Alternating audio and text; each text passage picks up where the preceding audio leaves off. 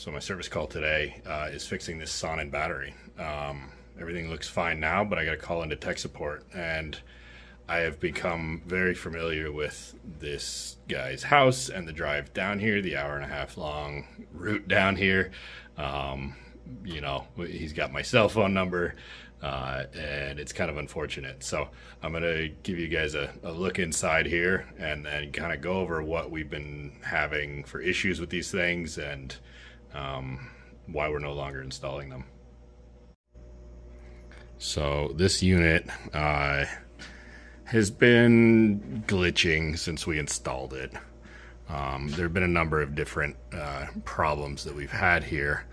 Um, but you know the, the the biggest issue is it just doesn't keep running and uh, if you guys have seen some of my other videos i cannot stand it when things don't keep running um, so here's kind of a look inside.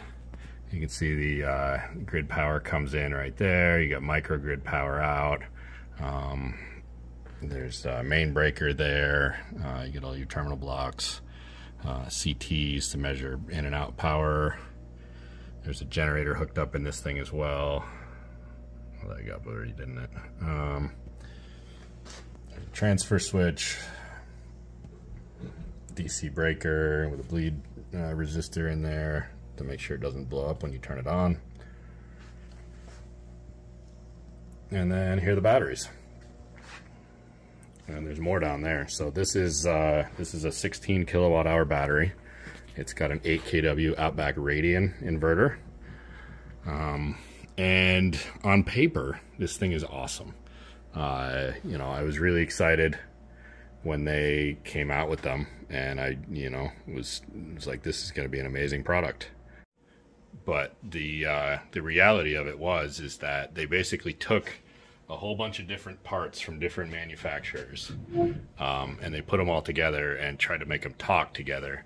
But they used their own software um, and their own control board hardware for that. Um, then they used an AXS port um, which you can see kind of right here. That's an Outback product uh, to make the Radian inverter talk to everything else. Um, and so, so there's there's no issue with all of the individual products that they installed inside of this. Um, the issue is with their firmware, their software, their hardware, just anything they made. Um, is constantly glitching. They're constantly updating it. Every time they do, the thing shuts your house down pretty reliably, even though they say it's not supposed to, and has other kinds of issues after that. Um, so uh, we're actually, as I'm filming this video, I'm waiting for tech support to call me back. Um, so here we go. So the biggest issue, uh, first and foremost, is a lack of tech support. Um, you cannot get a hold of them in a timely manner. Uh, you call them, you have to wait on hold for 10 to 20 minutes to get their answering service, who then takes a message and sends it to them. And then they'll call you back as soon as they can, which in my case, uh, I hope is pretty soon because I'm waiting here until they call me back.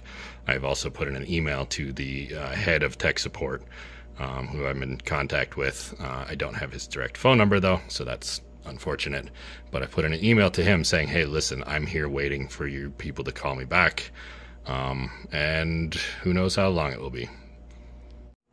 Secondly, and uh, it's kind of concerning actually, uh, is their round trip efficiency is nowhere near they say it is in the spec sheet. Um, we had another customer uh, who had this same unit, kind of an early uh, eco Gen 2, I think it was. Um, and we uh, crunched the numbers on it. Um, and the guy who did that is probably watching this video. Uh, and thank you for that. Uh, we crunched the numbers on it, and uh, we found out that it, it was I, I, don't know the exact numbers, but it was it was pretty terrible. Um, and so he presented all these to Sonnen, and they ended up sending us another two kilowatt hour module to make up the difference. Um, these batteries uh, are part of a program with Green Mountain Power where they discharge them at certain times of the day, and in doing that, they they also give you a good sized credit on your bill. Um, but what this one guy was seeing was that the amount discharged and the amount charged didn't line up. And that guy was an engineer, and he said, "Hey, look, these are my findings. Um, you know, I, I, want you to corroborate them, and um, you know, this isn't what they said it was going to be." So we ended up getting a free battery out of them uh, to uh, to add to the capacity because the round trip efficiency wasn't uh, didn't didn't meet the the spec sheet. Um, so that's uh, one more thing. So next we have the uh, the the firmware updates or software updates or whatever you want to call them. Uh, they update these things constantly. Um, and when they first came out, they said, yeah, you can use them off grid. You can use them, you know, in an off grid AC coupled, uh, you know, house. Um, and so I've done two of those now. One of them's still running by some magic. Um, but the other one, the guy got fed up with it, and we ended up having to take it out and replace it with something else.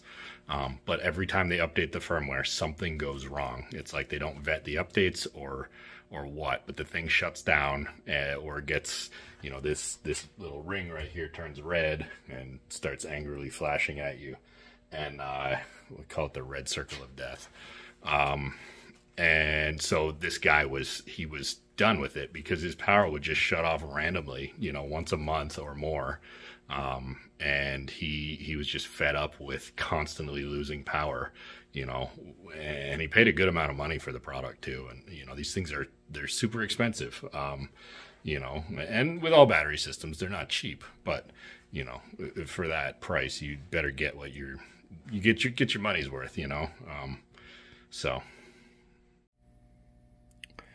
so one of the glitches that this thing uh, has is um, as part of this uh, utility program uh, to uh, send power back to the grid when it's needed. Uh, they they work with a company called Virtual Peaker, um, where it basically sends commands to all of these different batteries. And this one, for some reason, keeps on sending out a signal um, to Virtual Peaker, and then they respond by putting it into uh, manual mode. Um, and in doing so, it does not charge or discharge from the grid anymore. Um, it just slowly discharges because it's consuming its own power. Uh, slowly discharges down to zero. Um, so uh, they they still haven't been able to resolve that. We've been going back and forth for months now about this, um, and uh, you know, it's just kind of every couple weeks, uh, this thing sends out a signal and turn switches over to manual mode, and I have to call them um, and have them reset it. So that's uh, a great use of my time, and I'm very happy to call them every couple weeks to to do this. Uh, that is, if I pay attention to it. If I miss it, then the homeowner calls me and says my house is dead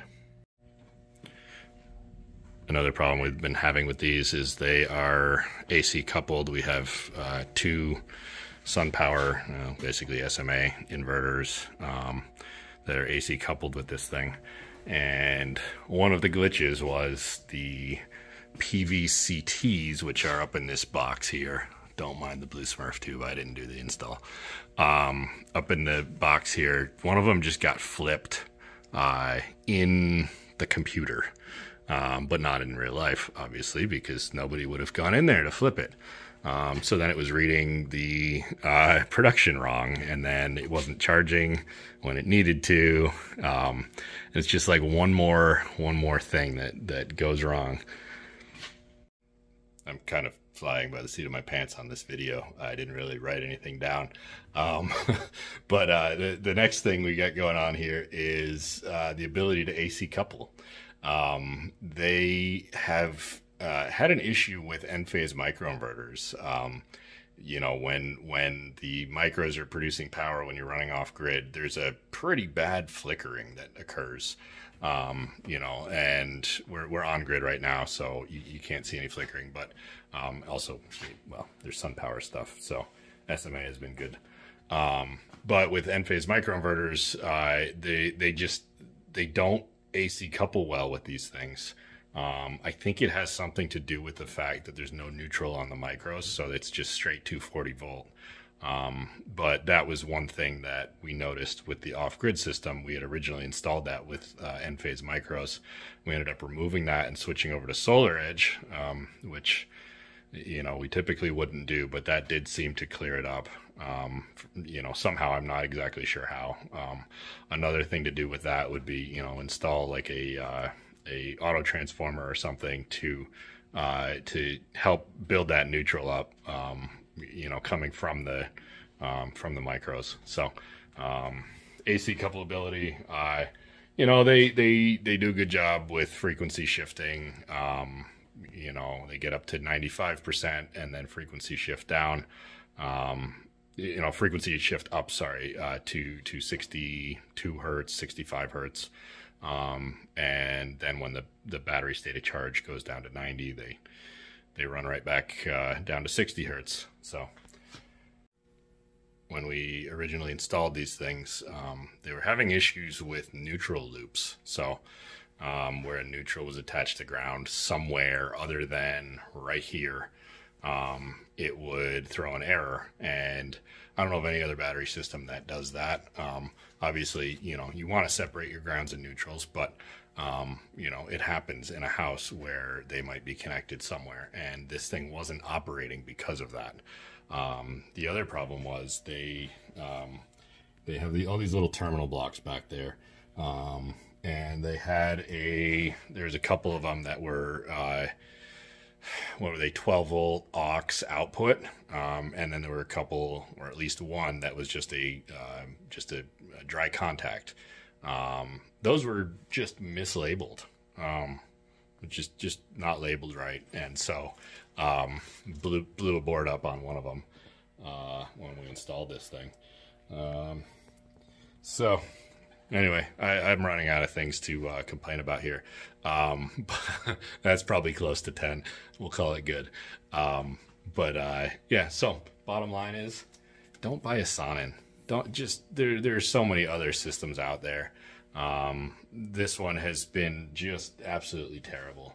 Um, and you know, it's, there's no good reason for it. Um, you know, I know they got bought out by Shell a while back and, and they've kind of gone downhill since then, but didn't start on a very high hill. So, um, yeah, thanks for watching and, uh, buy something different. And just a follow up here, uh, just got off the phone with Sonnen and they said, oh, looks like everything's fine. We don't know why it turned itself off. Um, you know, uh, they, they couldn't give me an answer. And uh, it, it they're like, we'll, we'll look into it. Um, but, you know, obviously, so it's got this breaker here um, right there. That's 200 amp. And, uh, and it has a shunt trip as well. So um, it can be turned off by command. Um, or it could trip. And they don't know why it did. So um, I had to come here to turn it back on because the homeowner didn't want to because he didn't know what was going to happen. And rightfully so. We've had it shut itself off and kill power to the house. And, um, you know, there was there was no way to turn it back on other than to start pulling little wires out of the control box here.